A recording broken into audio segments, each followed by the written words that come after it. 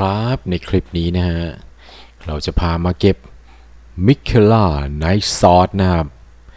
เราอยู่ที่นี่นะครับ เมืองของเจ๊มาเลเนียนะฮะ แล้วนี่ก็เป็นจุดพรนะครับ ห้องมนตรา บริเวณจุดนี้เพื่อนๆจะจำกันได้นะว่ามันจะมีตัวเน่าหนอนอยู่นะครับ เห็นไหมฮะ อัศวินเน่าหนอนอยู่ แล้วตรงนี้ก็เป็นทางที่เรามานะครับ เราก็จะเจอพรตรงนี้นะฮะ แล้วเราก็เดินมาทางนี้ได้เลยครับ นี่ เดินมาทางนี้จำไม่ยากนะฮะ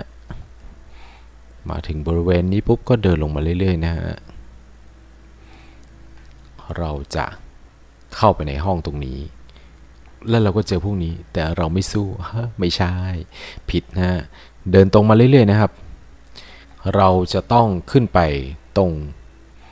ตำแหน่งนี้นะครับนี่ เราจะต้องไปหอตรงนั้นนะครับ เราจะต้องหาทางขึ้นไปนะฮะตรงมาเรื่อยๆนะครับ ตรงนี้จะมีห้องเล็กๆอยู่นะฮะแล้วก็มีทางบันไดขึ้นไปนะครับ ขึ้นไปปุ๊บก็จะมีกิ่งไม้นะฮะเสียวๆกิ่งไม้เสียวๆกระโดดไปเลยฮะ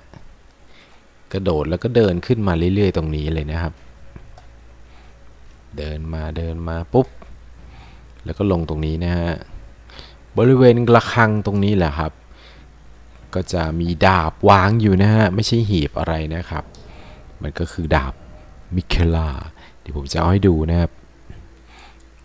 นี่ดาบอัศวินมิเคล่านะฮะ ได้พลังศักดิ์สิทธิ์นะครับโจมตีถึงตายก็ปกตินะฮะ พลังกายภาพนี่บวกไปแล้วนะครับ ได้ถึง 242 ด้วยกันนะฮะต้องการพลังศรัทธาถึง 16 หน่วยเลยนะครับ นี่ อาวุธเรียนแบบดาบอัศวินแห่งคาเลียนะฮะอ๋อเรียนแบบอันนี้เหรอ เรียนแบบคาเลีย ของเหล่าผู้รับใช้มิเคลาแห่งพฤกษาศักดิ์สิทธิ์ ฝังอัมพันธ์แห่งพฤกษาศักดิ์สิทธิ์แทนหินจลัดนะฮะไม่เคยได้มอบให้อัศวินแม้แต่ครั้งเดียว ดาบหรูหรานะฮะแต่อาภัพ ไร้นาย ทักษะต่อสู้คมดาบศักดิ์สิทธิ์นะครับใช้พลังศักดิ์สิทธิ์เป็นอาวุธแล้วปล่อยคมดาบสีทอง คมดาบศักดิ์สิทธิ์จะอยู่ในอีกสักพักหนึ่งนะครับแหมใส่ดูซะเลยเป็นไงล่ะนี่ เป็นไงฮะนี่มิเคลาฟ้าบนี่ก็ปกตินะ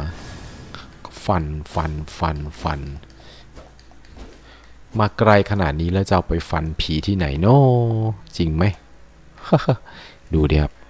แฟบกูได้ตกตรงนี้แน่ๆ นี่ โอ้โห พออยู่ใกล้ๆแล้วมันก็เท่นะ ดาบสีทอง ดูเท่ มิเคล่า ฝากมาเอาด้วยนะครับ ดาบเท่เวอร์นี้ ไม่มีไม่ได้ฮ่าฝากกดไลค์กด Subscribe ด้วยนะครับ สวัสดีครับ นี่บริเวณนี้นะ นี่ตรงนี้เลยนะครับ เก็บโคตรง่ายเลย แล้วถ้าลงตรงนี้ปุ๊บก็ไปเจอเจได้เลยนะครับ สวัสดีครับ